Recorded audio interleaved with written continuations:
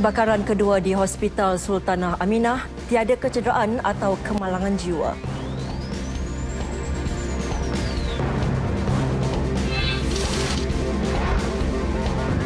Harga minyak masak paket 1 kg kekal RM2.50. Minyak botol ikut harga pasaran. Melaka tangguh jadual catuan air.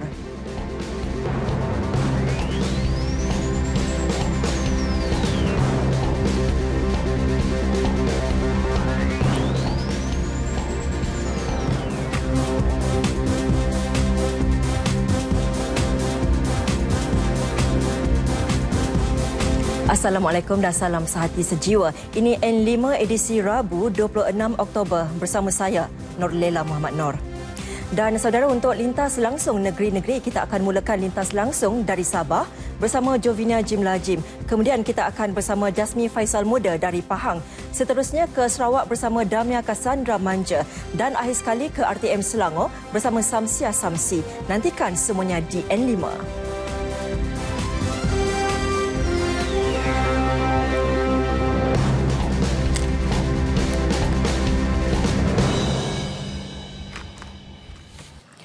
Kebakaran kedua di Hospital Sultanah Aminah Johor Bahru tengah hari tadi di tingkat satu hospital berkenaan dipercayai berpunca daripada limpahan air daripada kerja-kerja pembersihan yang terkena pada suis elektrik. Ketua Polis Daerah Johor Bahru Selatan ACP Sulaiman Saleh berkata, kejadian yang berlaku kira-kira 1.50 tengah hari itu tidak membabitkan sebarang kecederaan dan kemalangan jiwa. Jelasnya pesakit yang dibawa keluar bukan dari bilik bedah, sebaliknya dari wad lain sebagai langkah berjaga-jaga pihak hospital juga telah matikan semua suis-suis yang berkaitan lah. Jadi tidak ada apa-apa yang nak kita viralkan dan sebagainya. Tidak ada letupan, tidak ada kebakaran besar dan sebagainya. Ya, hanya percikan api ekoran daripada air yang bertemu dengan wire yang uh, soket yang dah terbuka lah. Uh, yang tidak berapa sempurna di situ. Hanya percikan je. Menurut SCP Sulaiman, bangunan Indo HSA Wat Unit Rawatan Rapi ICU yang terbakar semalam dan bilik bedah itu ketika ini masih ditutup dan tidak beroperasi. Beliau berkata demikian pada sidang media selepas ditemui pemberita di lokasi kejadian. Sementara itu, saksi kejadian menceritakan detik-detik ha, cemas tersebut. Ni. Lepas tu dia kata, doktor kata keluar, keluar, keluar sebab ada katanya ada ni, ada kebakaran lagi. Ha, jadi kita pun sambunglah keluar takut juga kan. Ha, lepas tu cakap dengan, ha, cakap dengan anak, pergi jaga ayah kau tu takut apa-apa hal nanti cakap gitu. Nampak asap ke? Saya tak nampak asap, tak nampak apa-apa. Cuma doktor suruh keluar, kita takut kita keluar. Tadi kami kat dalam nak ambil apa darah. And then um, depa kata ada asap-asap. Uh, depa panggil keluar. Ha, depa kata asap banyak kat kat dalam. Ha, tu yang kami tahu apa tu kami tengok semua macam patient uh, nurse semua duk gabrau eh doktor semua. Jadi dia tengah duk ambil kami tersangkut eh. doktor semua kata jerit suruh keluar. Ha. Asap oh, Asap kami tak nampak Tapi dia orang yang katakan Yang bawa patient tu semua kan Dia orang tenat Patient tenat kan Dia pun rasa macam sesak nafas ha, Sesak nafas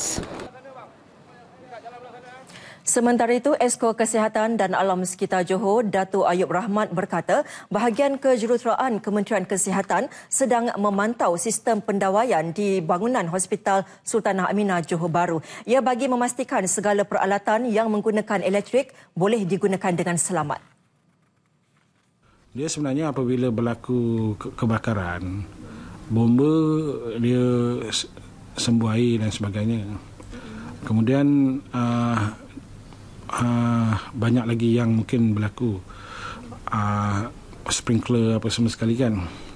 Maka apabila hari ini nak dioperasikan sepenuhnya kemungkinan ada soket-soket apa panel panel pendawaian yang basah. Uh, basah jadi apabila basah, apabila ada elektrik, itu yang menyebabkan ada reflection daripada uh, daripada uh, keadaan basah tersebut. Uh, uh, reflection, ada spark sikit, apa semua itu proses biasa.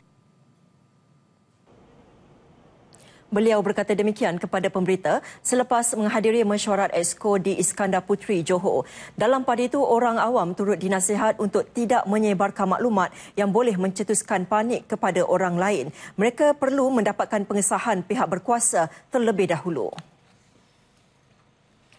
Perdana Menteri Datuk Seri Najib Tun Razak melahirkan penghargaan kepada pelbagai pihak dan agensi yang menyumbang tenaga dalam usaha menyelamat di Hospital Sultanah Aminah HSA Johor Bahru semalam.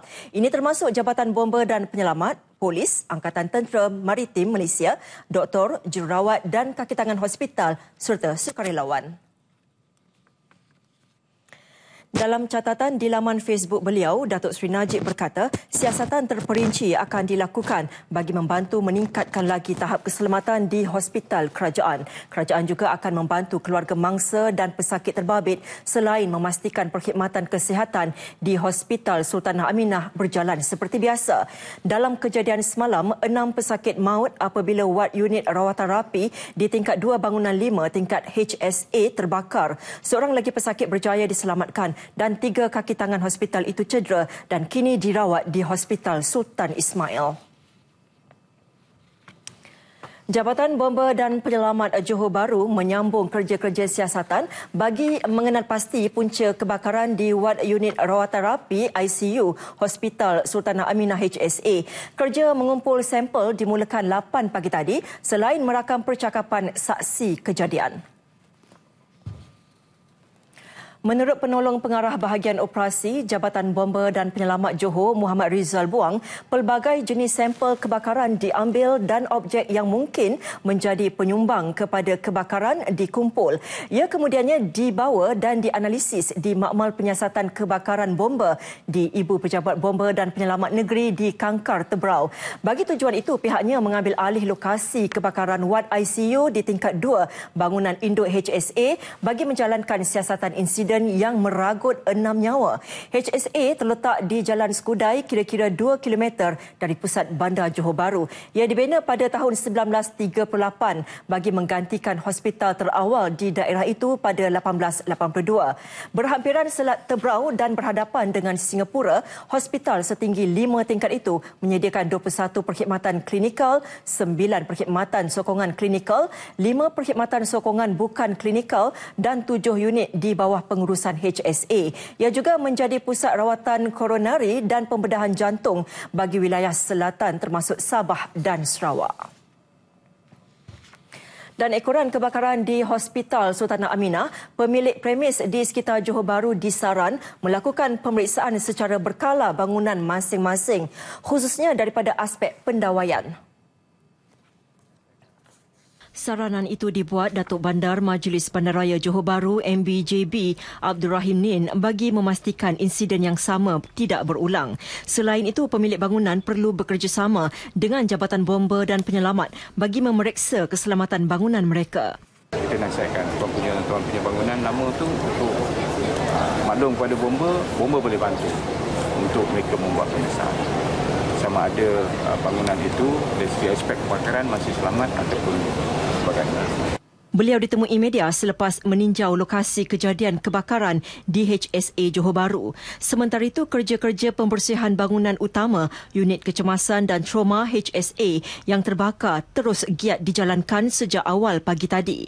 Menurut jurucakap Bilik Bantuan Gerakan HSA, kerja-kerja pembersihan ini melibatkan pelbagai agensi termasuk Angkatan Tentera ATM, Pasukan Bomba dan Penyelamat dan Kaki Tangan HSA. 60 anggota ATM ditugaskan bagi membantu kerja pembersihan di bangunan terjejas selain menyediakan perkhidmatan Hospital Medan yang terletak di Kem Tebrau, Johor Bahru. Dua doktor dan sepuluh anggota paramedik dalam keadaan siap siaga di hospital berkenaan yang mempunyai 80 katil. Harga jualan minyak masak paket untuk 1 kilogram dikekalkan pada RM2.50. Menteri Perdagangan Dalam Negeri, Koperasi dan Kepenggunaan, Datuk Seri Hamzah Zainuddin ketika mengumumkan perkara itu, turut menjelaskan harga minyak masak selain itu akan dijual mengikut harga pasaran. Keputusan dibuat selepas mengadakan kajian yang mendalam dan memutuskan struktur baru harga minyak masak bakal berkuat kuasa 1 November ini. Pengekalan harga jualan dilakukan kerajaan dengan menstruktur semula jumlah subsidi bagi membolehkan harga pasaran tersebut dikekalkan. Nationalisation adalah sesuatu yang kita lakukan demi untuk kepentingan bersama, untuk kesejahteraan rakyat untuk kepastian bahawa kita hidup dalam keadaan selesa. Kerajaan ini, Kerajaan Barisan Nasional adalah kerajaan yang bertanggungjawab supaya kita tahu bagaimana nak menguruskan ekonomi negara.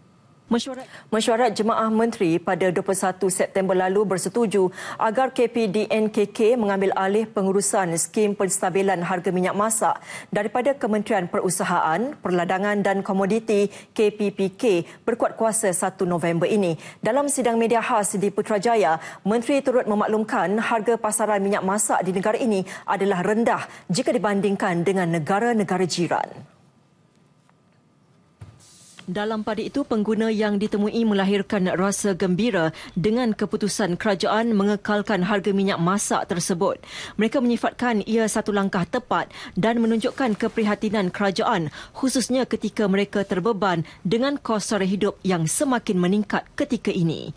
Pandangan saya uh, baguslah kalau kekal sebab apa? Ialah ekonomi sekarang kan uh, ni kan Malaysia kan. So kalau harga minyak tak naik baguslah sebab apa kita semua macam saya meniaga mm-hmm. kat highway arit nak apa. Mm-hmm. Itu memang banyak guna minyak lah apa kan. Mm-hmm. So kalau kekal memang bagus sangat lah.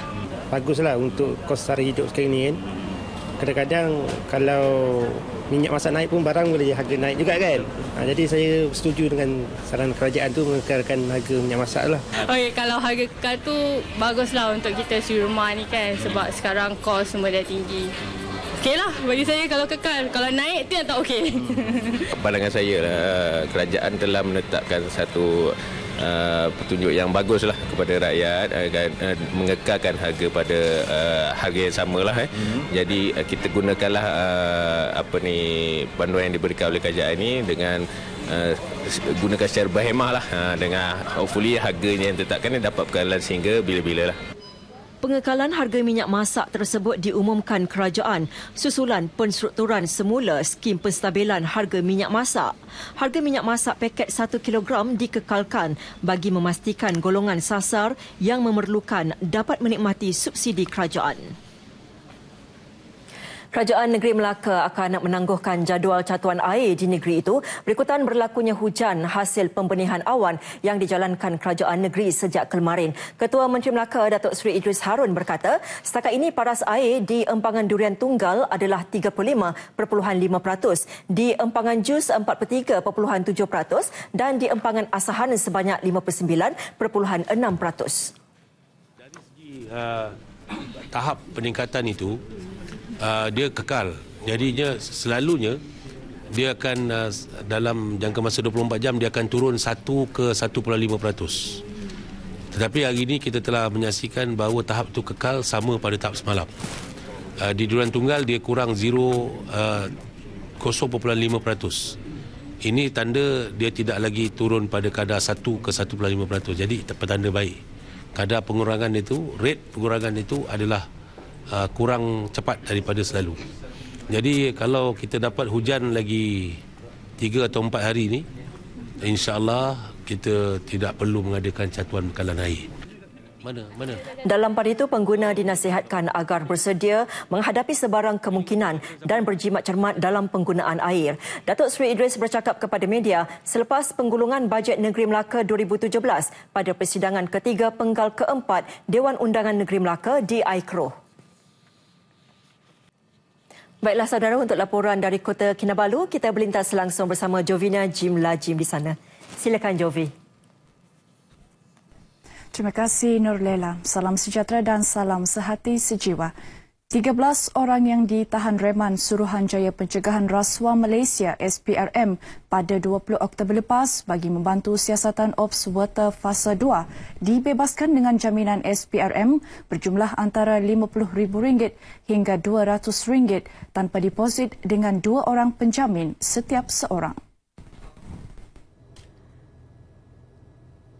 Magistrat Cindy MC Jus Balitus memerintahkan pembebasan 8 jurutera dengan jaminan RM200,000 setiap seorang manakala seorang juruteknik dan seorang pegawai kerja dibebaskan dengan jaminan RM50,000 selepas mendengar permohonan SPRM di Mahkamah Magistrat Kota Kinabalu petang tadi.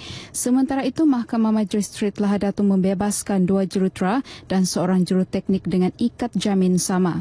Mereka yang dibebaskan merupakan antara 22 dua orang yang ditahan reman sebelum ini dalam Ops Water Fasa 2. Ops Water Fasa 2 dilancarkan susulan Ops Water Fasa 1 pada 4 Oktober lalu apabila SPRM mendapat maklumat daripada suspek yang ditahan sebelum ini mengenai kemungkinan pembabitan lebih ramai pegawai kanan jabatan berkenaan dalam kes penyelewengan dana.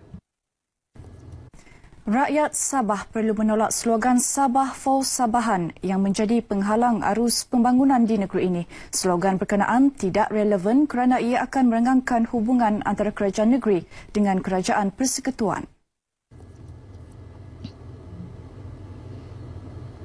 Ketua Menteri Datuk Seri Panglima Musa Haji Aman berkata hubungan kukuh antara kerajaan negeri dan persekutuan penting untuk membolehkan setiap program pembangunan di negeri ini berjalan lancar dan berkesan.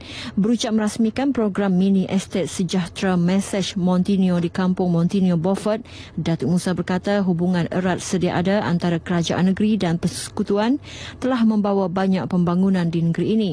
Beliau juga menasihatkan para pemimpin BN agar terus berusaha keras dan tidak hilang fokus dengan penubuhan beberapa parti baharu di negeri ini.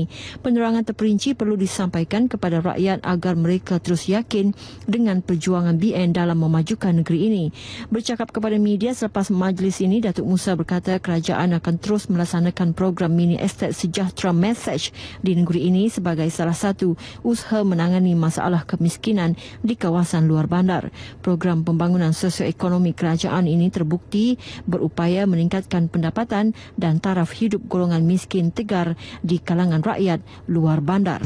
Ini cara kita cara kerja Barisan Nasional di Sabah di mana kalau kita tahu ada kelompok kemiskinan atau lubuk-lubuk kemiskinan di kawasan tersebut kita akan wujudkan satu message di mana kita bangunkan message itu dengan memberi semua infrastruktur perumahan dan lain-lain dan beri peluang kepada miskin tegal untuk menjadi ahli atau menjadi uh, penghuni di tempat-tempat tersebut dan sudah tentu ini dapat mengurangkan kadar kemiskinan atau harga kuah di kawasan-kawasan tersebut.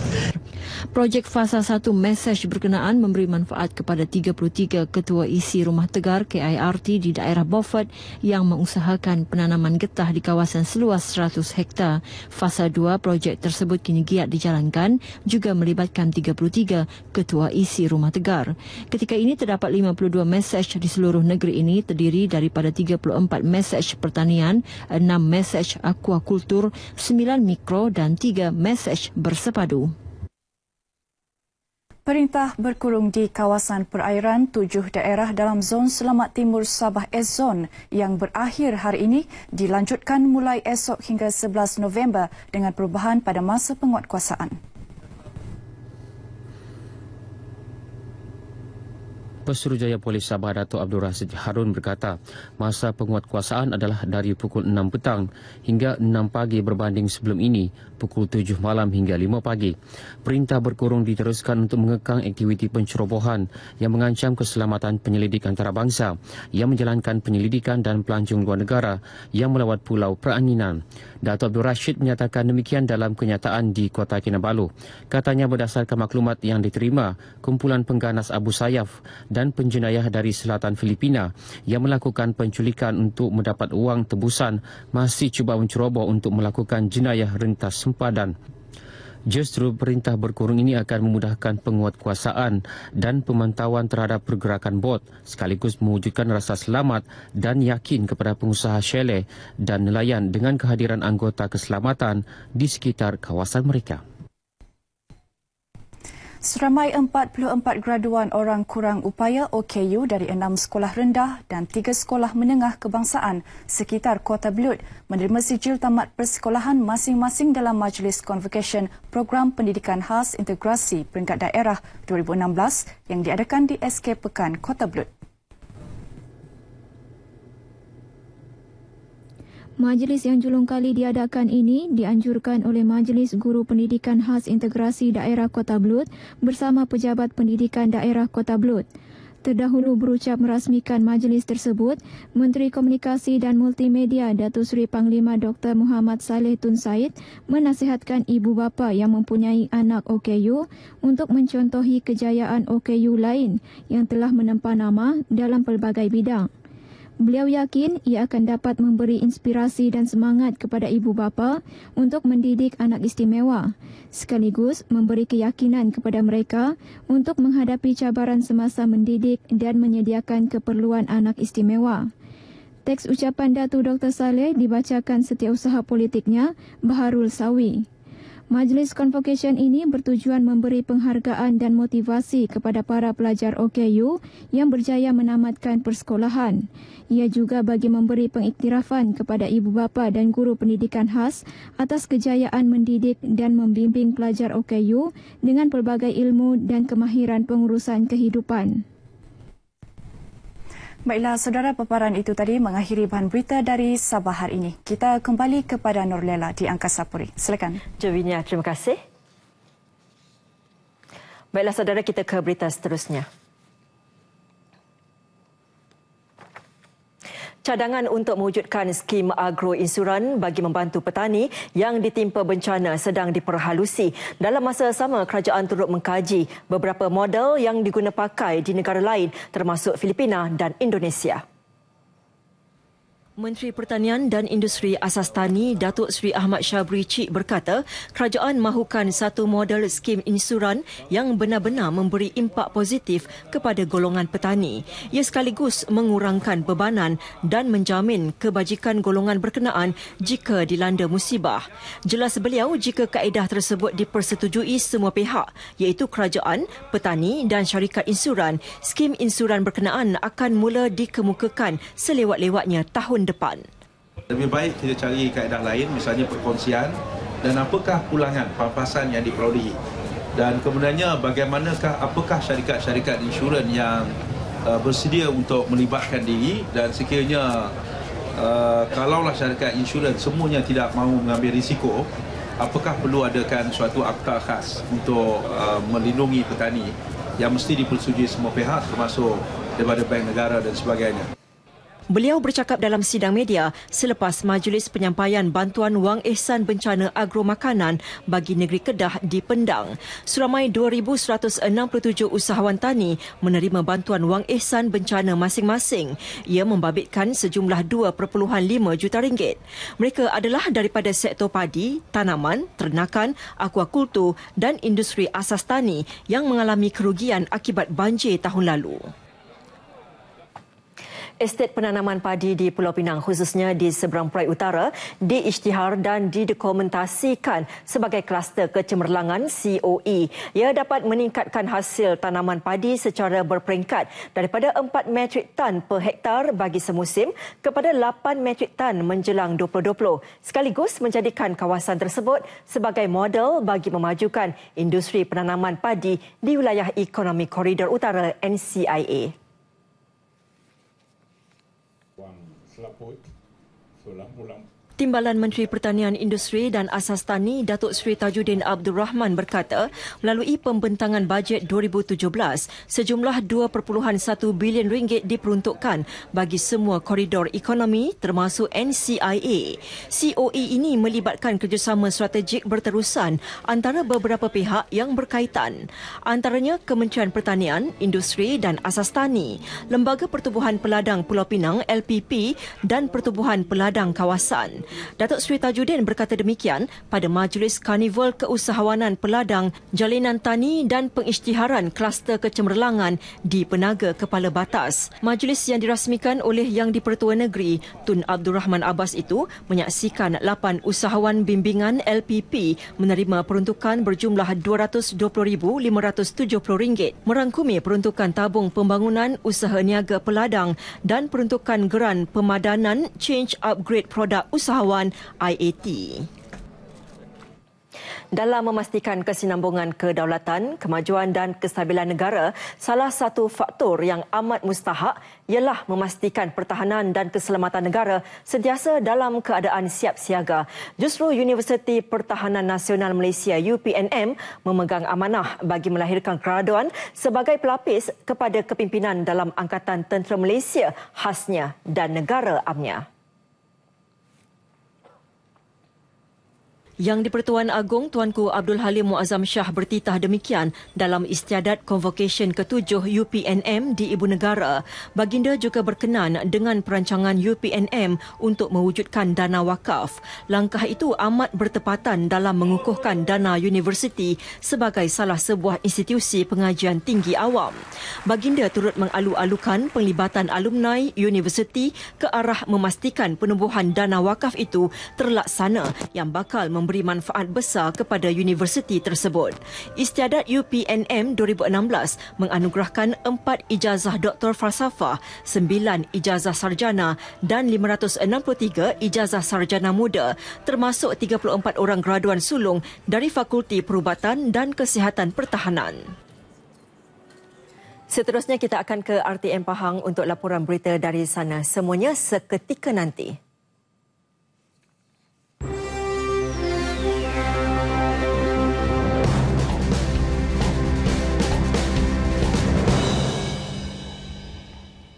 Persiapan Jawatan Kuasa Bencana Negeri menghadapi musim tengkujuh bulan depan antara paparan berita dari negeri Tok Gajah untuk hari ini. Untuk laporannya, kita berlintas langsung bersama-sama Muhammad Jasmi Faisal Muda di studio berita RTM di Kuantan Pahang. Silakan Jasmi. Terima kasih Nolela di Studio 3 Angkasa Puri. Assalamualaikum dan salam sejahtera. 385 lokasi di negeri ini dikenal pasti berisiko dilanda banjir pada musim tengkujuh yang dijangka melanda kawasan Pantai Timur pertengahan November depan. Bagi memastikan kesemua lokasi bersedia, pemantauan secara berkala dilakukan Jawatan Kuasa Bencana Negeri dengan bantuan Jabatan Bomba dan Penyelamat Pahang serta pelbagai agensi berkaitan.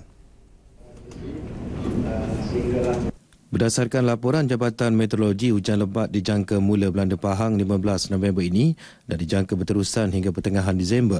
Berdasarkan maklumat itu, jawatan kuasa tersebut akan mula mengedar barangan makanan dan keperluan asas lain ke 107 pangkalan hadapan pada 7 November ini dan proses pengagihan akan selesai sebelum 15 November. We will make ready that, make sure that semua pangkalan hadapan ini akan siap dibekalkan dengan Uh, bekalan-bekalan asas lah. Antara bekalan asas yang dibekalkan ialah beras, sardin, gula, garam, minyak masak, biskut, kopi dan teh uncang. Maknanya to keep survival for three days. Ya, untuk tiga hari ya, betul? Ha, itu ni. Lepas tu baru kita akan bantulah dengan ni.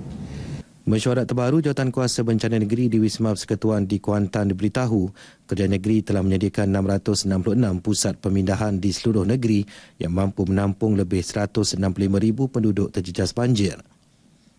Persiapan lain, semua kerja naik taraf dan membersihkan longkang serta saluran di seluruh Pahang sudah 90% siap. Sementara itu, ketika diminta mengulas mengenai kemungkinan berlaku fenomena air pasang besar di negeri ini, beliau berkata yang dijangka berlaku pada pertengahan November dan Disember. Bagaimanapun Datuk Seri Muhammad Safian berkata, fenomena air pasang besar di Pahang dijangka tidak seteruk yang melanda pantai barat Semenanjung namun persiapan untuk menghadapinya telah dilakukan. Fekra Berhad telah menyalurkan dividen berjumlah 1.3 bilion ringgit kepada hampir 23 peserta di Pahang sejak 50 tahun lalu. Muhammad ni berkasih-kasih sayang. Ini cuba tengok. Menurut pengurus besar Fekra Wilayah Pahang Mutalib Taiz, tahun ini saja Fekra menyalurkan agihan dividen sebanyak 12 juta ringgit. 1.337 bilion. Pahang sahaja. Pahang saja. Bermula tahun 1997 sampai sekarang. 1997. Ha, kita rekodkan. Sehingga maknanya 2016 lah. 1.337 bilion. Bilion. Ya. Ya, kita bayar setiap tahun. Maknanya macam apa Datuk Abi katakan tadi, maknanya kita ada juga masa buka sekolah. Ya, kita ada juga masa perayaan. Ya.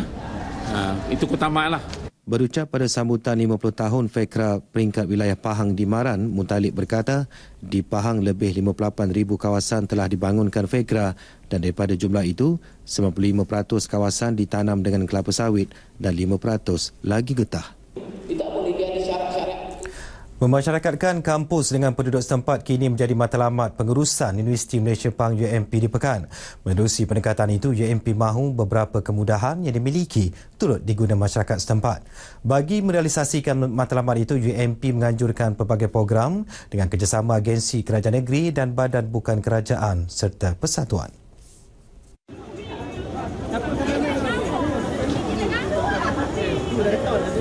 Antara yang menarik perhatian masyarakat ialah Karnival Sehati Sejiwa UMP dengan kerjasama Majlis Belia Daerah Kuantan dan Pekan.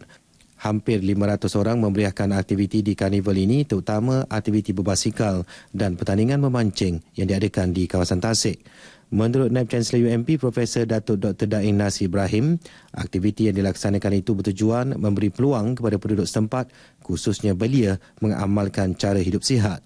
Selain itu, ia juga dapat memberi ruang warga kampus merapatkan hubungan dengan masyarakat sekitar mereka. Dengan menggunakan kemudahan yang ada di UMP, eh, sekali lagi UMP bersama-sama masyarakat untuk mengeratkan lagi silaturahim uh, kampus dengan masyarakat setempat khususnya belia. So saya dengan ini uh, kesepakatan dan kesatuan di antara komuniti uh, akademik dan juga masyarakat akan terus uh, di apa ni di uh, dijadikan agenda uh, kami di MP ini. Profesor Datuk Dr. Daing berkata kemudahan yang dimiliki universiti perlu dikongsi bersama masyarakat dengan pelaksanaan serta penganjuran program seperti itu. Uh, memang ada tapi kita ada kaedah tertentu sebab kita pun ada apa ni ada had ada tahap keselamatan juga harus dijaga. Tetapi saya tak tak nampak ada masalah untuk uh, tasik ini digunakan oleh masyarakat. Dan saya beranggapan kemudahan universiti harus juga dinikmati oleh uh, masyarakat khususnya masyarakat setempat dan belia-belia khususnya. Ya. yeah. Menerusi acara berbasikal, peserta berkayuh sejauh 38 km dari Kompleks Belia dan Sukan Kuantan sebelum singgah di Pantai Sepat untuk memberi sumbangan kepada 15 keluarga di situ sebelum menamatkan kayuhan mereka di UMP Pekan.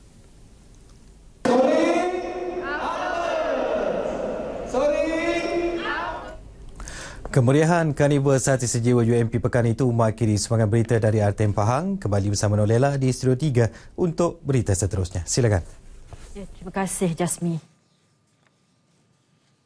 Polis Diraja Malaysia PDRM mengesahkan seorang lelaki yang ditahan di Filipina baru-baru ini adalah rakyat Malaysia. Ketua Polis Negara Tan Sri Khalid Abu Bakar berkata, lelaki berkenaan ditahan di Pelabuhan Pekan Maluso, Selatan Filipina ketika cuba menyelinap masuk ke negara ini. Bagaimanapun Tan Sri Khalid berkata pihaknya tidak dapat memastikan sama ada suspek yang berasal dari Kelantan itu adalah pakar pembuat bom seperti didakwa pihak berkuasa negara berkenaan. So, saya mengesahkannya bahawa memang dia adalah seorang rakyat Malaysia daripada Kelantan. Ya, so uh, itu saja yang kita tahu sekarang ini yang kita tidak tahu pula di bawah military watch or something like that no Beliau berkata demikian pada sidang media selepas perasmian seminar antarabangsa pencegahan penyeludupan dadah 2016 di Kuala Lumpur. Sebelum ini media Filipina melaporkan seorang rakyat Malaysia ditahan awal bulan ini dan kini berada di bawah tahanan pihak berkuasa Filipina. Pihak berkuasa negara berkenaan masih menyiasat sama ada suspek ada kaitan dengan tentera militan Abu Sayyaf. Menteri Belia dan Sukan Khairi Jamaluddin Abu Bakar mendahului tiga orang yang dipakaikan pangkat pegawai kanan sukarela dan kehormat askawataniah. Majlis pemakaian pangkat itu disempurnakan oleh Menteri Pertahanan Datuk Seri Hishamuddin Tun Hussein di Ibu Negara.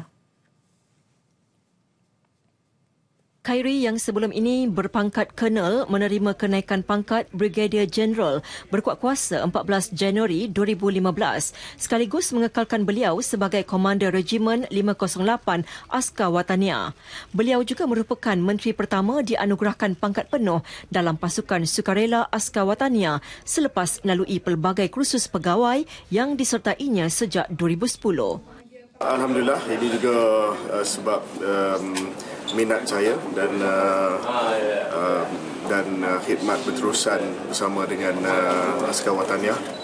Uh, sekarang ini menjadi komander kepada Regimen 508 uh, dengan harapan lebih ramai lagi uh, belia orang muda akan juga menyertai sekawatannya bukan satu perkara yang mudah sebab latihannya agak um, lasak dan uh, susah Uh, tetapi saya percaya dan yakin ini adalah uh, salah satu cara yang terbaik untuk uh, membina disiplin dan menyumbang kepada negara. Manakala Menteri Besar Terengganu Ahmad Razif Abdul Rahman memakai pangkat Brigadier Jeneral Kehormat berkuat kuasa Ogos 2015 sekaligus dilantik sebagai penaung jawatan kuasa pendukung Askawataniah Negeri Terengganu. Ketua Setiausaha Perbendaharaan Tan Sri Dr. Muhammad Irwan Seriga pula ditauliahkan pangkat Major Jeneral Kehormat berkuat kuasa 30 Oktober 2015 sekaligus dilantik sebagai penasihat askar watania. Dengan apa ni dengan ini akan memudahkan uh, untuk uh, memastikan uh, uh, saya sendiri uh, bagi membantu uh, membantu kementerian dan terutama dari segi pasukan wataniah lah. Kerana Terengganu sendiri kita ada ramai anggota-anggota wataniah uh, dan kita ada juga kem-kem tentera yang insya-Allah akan boleh dibantu dengan lebih ataupun saya boleh berada lebih dekat lagi dengan mereka ini. Saya juga bersemangat tinggi lah kepada pasukan uh, angkatan tentera kita dan apa juga kelengkapan dan sebagainya saya akan uh, apa menyelami lah keperluan mereka dan sebagainya dan saya juga kalau boleh ada kesempatan attend some training supaya saya pun kelihatan sehat dan sebagainya. Uh, kerana setiap pemimpin harus uh, cergas sehat mindanya dan juga kalau berlaku keperluan kita juga uh, perlu menjadi salah seorang anggota yang menyelamatkan negara. Jadi setiap insan di Malaysia ini harus mempunyai semangat yang tinggi untuk menjaga keselamatan dan kesejahteraan negara. Kesemua mereka sebelum ini telah ditauliahkan pangkat berkenaan oleh Yang di-Pertuan Agong. Seorang wanita berusia 42 tahun cedera parah selepas ditetak bapa mertuanya sendiri. Kejadian berlaku di sebuah rumah di Taman Selayang, Alusta, Kedah malam tadi. Ketua Polis Daerah Kota Star, ACP Muhammad Rozi Jidin berkata, kejadian berlaku kira-kira pukul 10.30 malam ketika mangsa Mak Lin Ping dan suaminya berada di rumah bersama-sama bapa mertuanya. Bagaimanapun tanpa diketahui puncanya, mangsa telah ditetak oleh bapa mertuanya di bahagian leher, tapak tangan kanan dan pergelangan tangan menggunakan sebilah pisau pemotong daging. Ekoran kejadian itu, mangsa yang merupakan seorang suri rumah dikejarkan ke sebuah pusat perubatan swasta untuk rawatan lanjut. Susulan itu, polis telah menahan suspek berusia 86 tahun di rumah berkenaan. Polis turut merampas sebilah pisau berukuran 11 inci dipercayai digunakan dalam kejadian itu. Kes disiasat di bawah Seksyen 324 Kanun Keseksaan. Baiklah saudara, seperti dijanjikan kita akan ke Sarawak bersama dengan rakan setugas Damia Kassandra Manja di sana. Silakan Damia.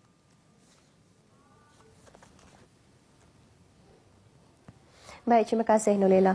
Polis Sarawak telah menahan lima lagi individu berumur antara 18 hingga 65 tahun di sebuah rumah panjang di Balingan Mukah bagi membantu siasatan merhubung kes pembunuhan Fabian Jati Lebau pada malam Isnin lepas. Menurut Ketua Jabatan Siasatan Jenayah IPK Sarawak SAC Datuk Dev Kumar, tiga daripada individu tersebut merupakan tuai rumah atau ketua kampung. Dihubungi pemberita RTM di Kuching, beliau menegaskan tanggapan terbaru ini berikutan hasil siasatan yang dijalankan terhadap tiga individu yang ditahan sebelum ini yang berumur 27 dan 38 tahun. Hasil siasatan juga mendapati ketiga-tiga individu berkenaan membuat laporan polis di muka kerana kenderaan yang dinaiki mereka telah ditembak dengan beberapa das tembakan apabila memasuki kawasan ladang di Sungai Arif berkenaan. Malah polis telah mengenal pasti empat individu yang dipercayai berada di tempat kejadian sebelum pembunuhan itu berlaku dan meminta saksi-saksi yang berada di tempat kejadian untuk tampil memberi keterangan. Polis turut merampas dua laras senapang patah dan beberapa butir peluru milik individu yang ditahan bagi membantu siasatan. Kes disiasat di bawah Seksyen 302 Kanun Keseksaan kerana membunuh. Seramai 150 orang menerima pingat daripada Yang di-Pertuan Negeri Tun Pehin Sri Abdul Taib Mahmud dalam satu istiadat penggunaan darjah-darjah kebesaran negeri Sarawak pagi tadi. Istiadat berlangsung di Astana Negeri di Petrajaya yang turut dihadiri isteri Tuan Yang Terutama Toh Puan Datuk Patinggi Ragat Kurdi Taib. Mendahului senarai penerima ialah Presiden Mahkamah Rayuan Tan Sri Maraus Syarif yang dianugerahkan dengan darjah utama Yang Amat Mulia Bintang Kenyalang Sarawak, Dato' Amar Bintang Kenyalang yang membawa gelaran Dato' Amar. Terdapat dua penerima darjah Yang Amat Mulia Bintang Sarawak, Johan Bintang Sarawak iaitu Ahli Lembaga Amanah Yayasan Satu Malaysia, Dr. Peter Mulokedit dan Presiden Persatuan Pesara Kerajaan Sarawak, Julahi Ismail. Empat orang lagi menerima darjah utama Yang Amat Mulia Bintang Kenyalang Sarawak, Johan Bintang Kenyalang, termasuk Timbalan Naib Chancellor Universiti Malaysia Sarawak UNIMAS, Profesor Dr. Kopli Bujang. Terdapat empat penerima pingat pentadbiran awam, pingat perkhidmatan cemerlang dan empat penerima darjah Yang Amat Mulia Bintang Sarawak, Pegawai Bintang Sarawak, termasuk Ahli Dewan Undangan Negeri Adun Betimaro Razali Gapor. Sementara itu, 8 orang menerima darjah utama Yang Amat Mulia Bintang Kenyalang Sarawak, Pegawai Bintang Kenyalang, 15 menerima pingat pentadbiran awam, pingat perkhidmatan bakti dan 20 penerima darjah Yang Amat Mulia Bintang Sarawak, Ahli Bintang Sarawak terdapat 27 penerima darjah utama Yang Amat Mulia Bintang Kenyalang Sarawak, Ahli Bintang Kenyalang, termasuk Ketua Pemberita dan Editor Tugasan Seksyen Berita Ehwal Semasa RTM Sarawak, Alice Wee. Manakala 25 orang lagi menerima pingat pentadbiran awam, pingat perkhidmatan terpuji. Seramai 40 orang menerima darjah Yang Amat Mulia Bintang Sarawak, Bentara Bintang Sarawak. Hadir sama Timbalan Ketua Menteri Tan Sri Dato' Amar Dr. James Jemut Masing.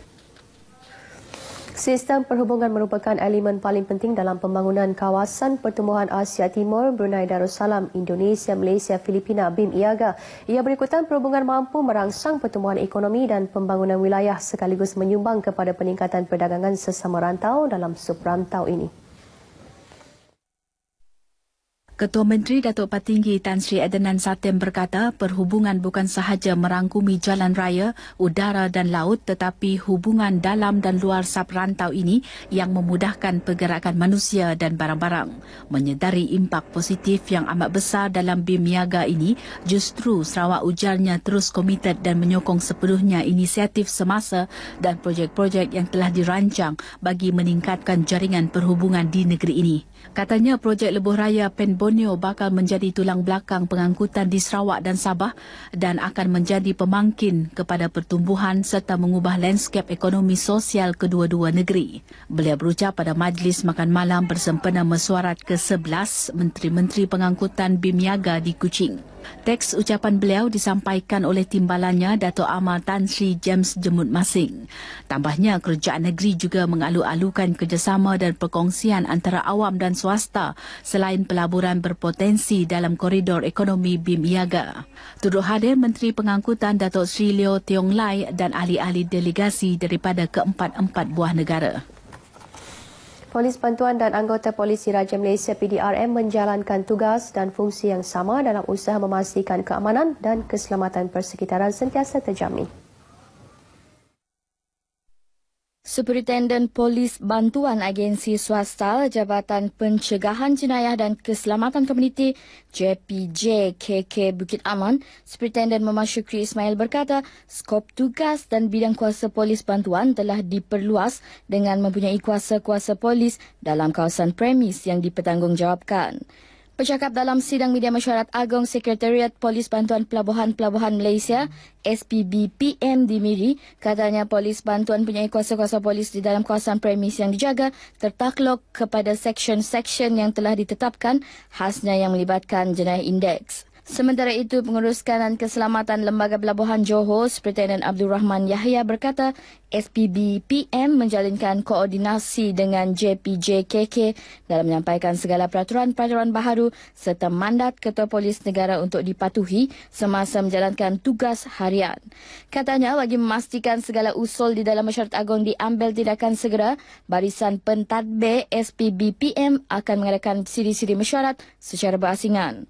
Bagi menjamin kejayaan teras yang dirancang, beliau turut mencadangkan supaya tunjuk prestasi KPI SPBPM diperkukuh termasuk mengadakan mesyuarat dua kali setahun selain mengadakan auditan keselamatan bersilang antara ahli dan lawatan sambil belajar ke pelabuhan-pelabuhan terpilih. Seramai 27 perwakilan SPBPM dari seluruh negara hadir pada mesyuarat agung itu dimiri serentak dengan ulang tahun ke-20 penubuhan SPBPM.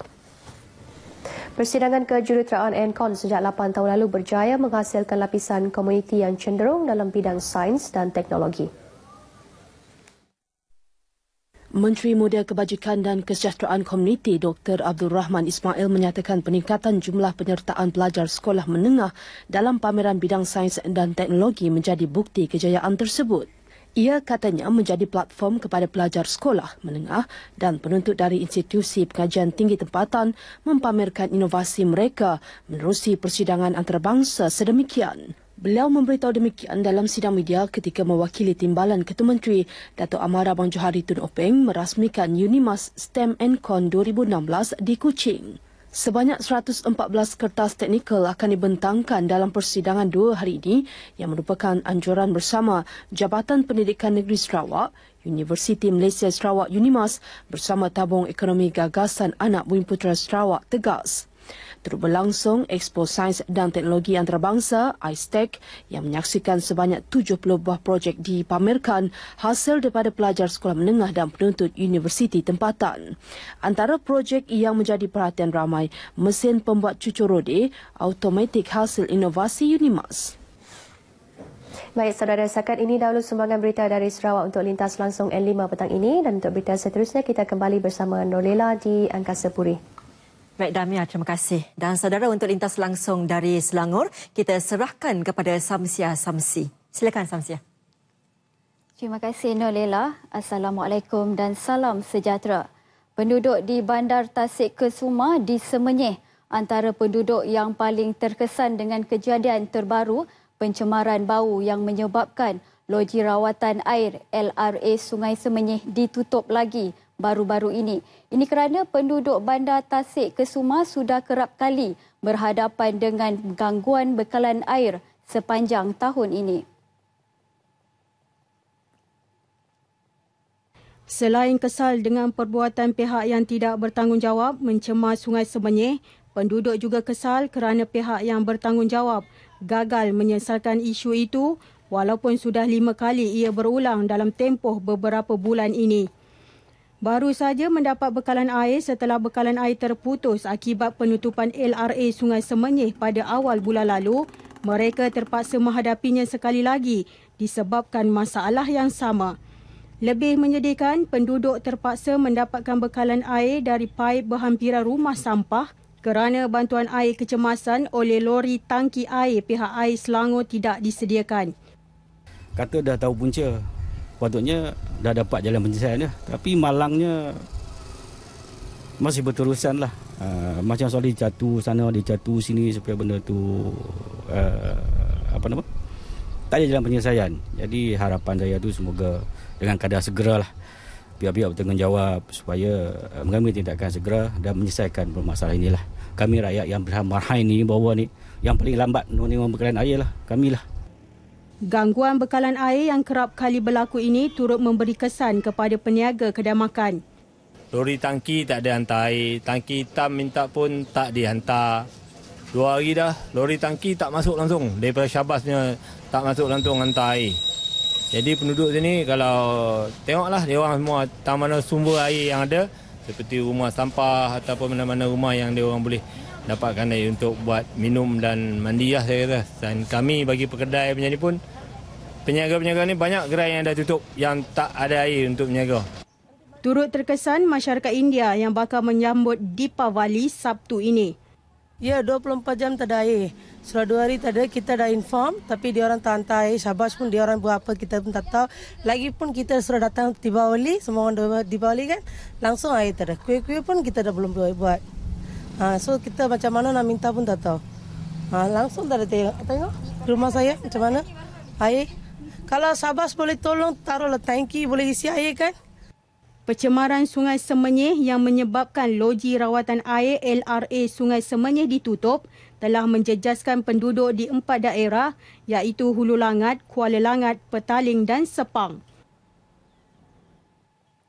Kira-kira 300 keluarga di empat perkampungan India di Kampung Jawa Kelang boleh menarik nafas lega apabila masalah mereka mendapat perhatian pengerusi Majlis Tindakan Persekutuan Negeri Selangor Tan Sri Noh Omar. Penduduk di kawasan perkampungan ini mendakwa mereka bakal kehilangan tanah kerana akan diambil untuk tujuan pembinaan lebuh raya sekaligus akan melenyapkan kampung masyarakat India di Selangor.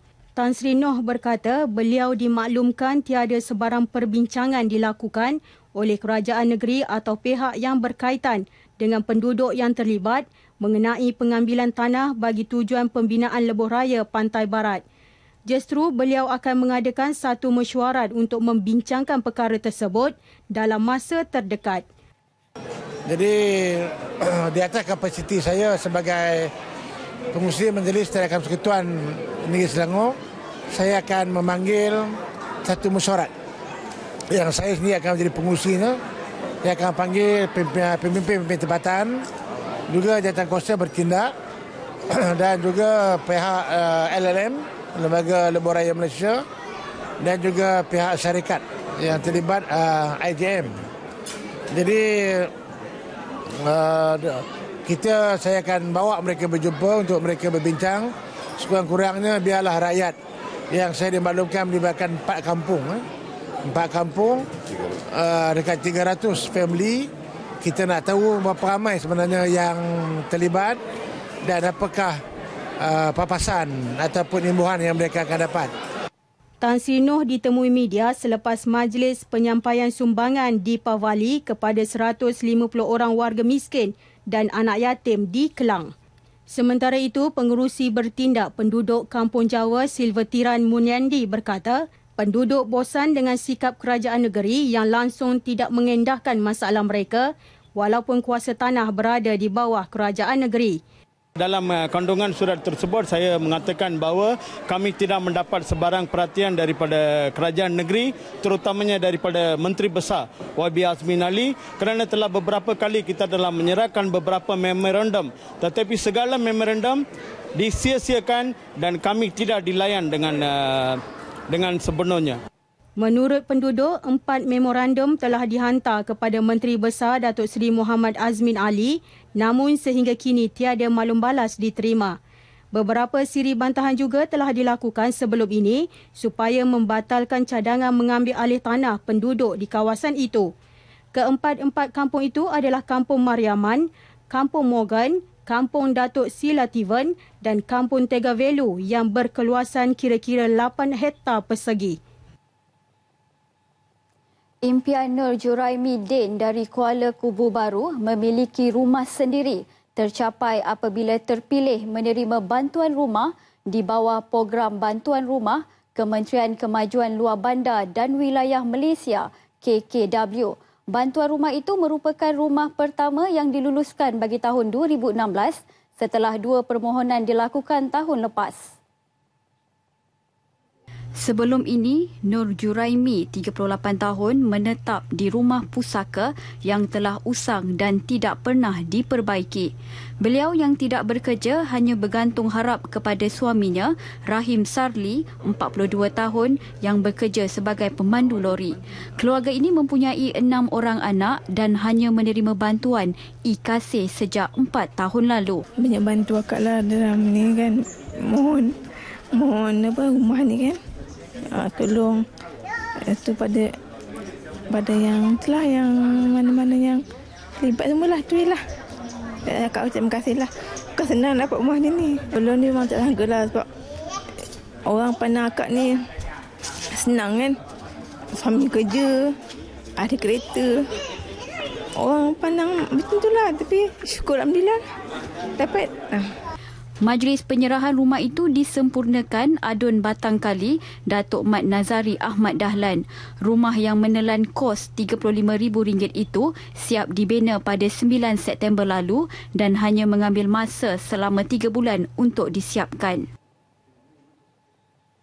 Itu tadi sumbangan dari RTM Selangor kembali semula ke Angkasa Puri bersama Nolela.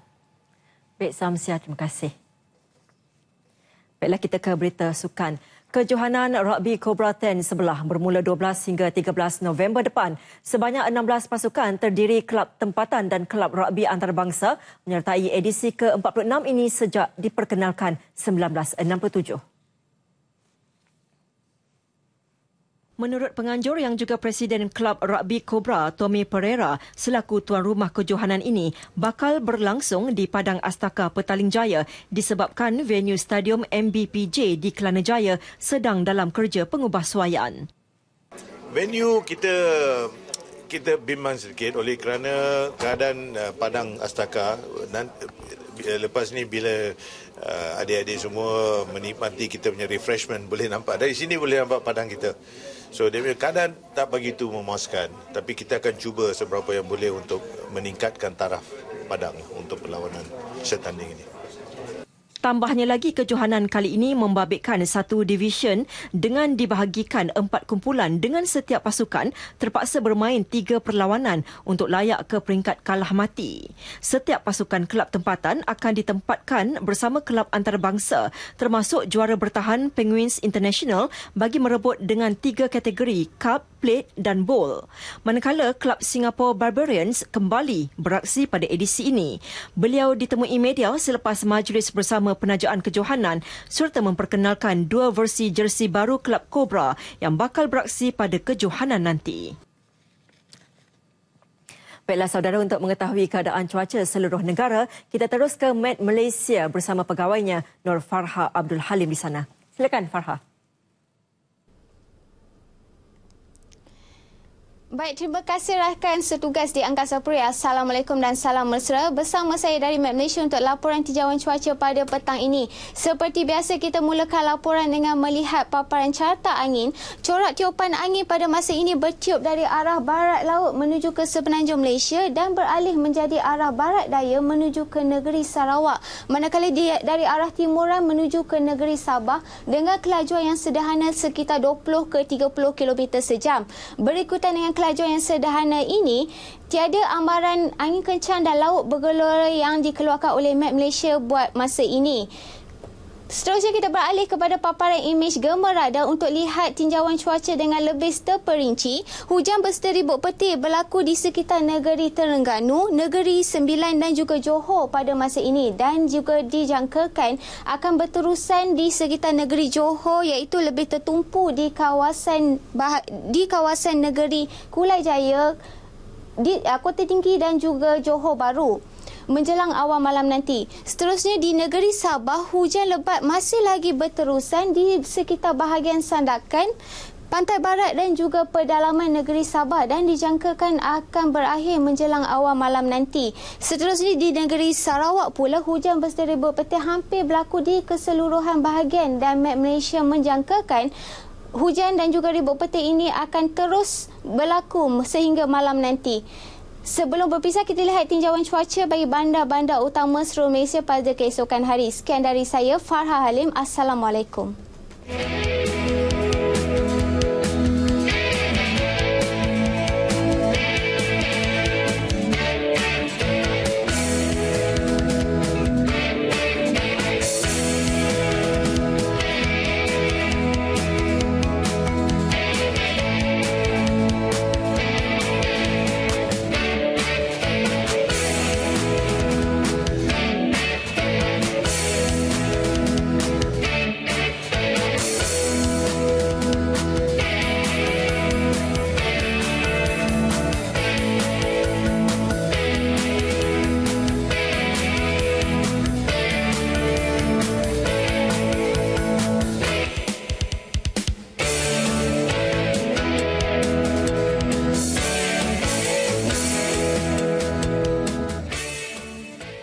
Baiklah saudara, visual aquarium terbesar di Amerika Latin yang akan dibuka di Rio de Janeiro, Brazil setinggi 6 tingkat yang menempatkan kira-kira 8,000 kehidupan laut daripada 350 spesies menutup N5 untuk hari ini. Sampai jumpa lagi, saya Norlela Muhammad Nur. Assalamualaikum dan salam sehati sejiwa.